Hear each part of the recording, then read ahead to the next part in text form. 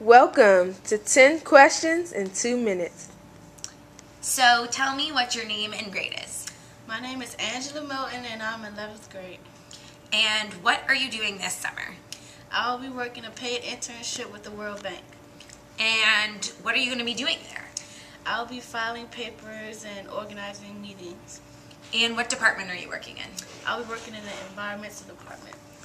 How did you even get this opportunity? Through Ms. Shannon in the, that works in the programs office and through Urban Alliance.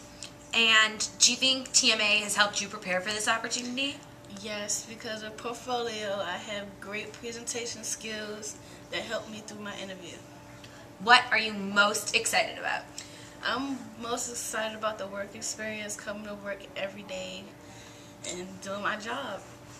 What, if anything, are you worried about though? I'm worried about the business attire that I have to wear every single day throughout the hot summer. and what is something you think you're going to take out of the experience?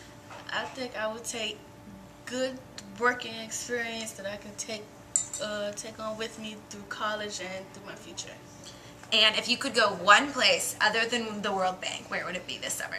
Busch Gardens!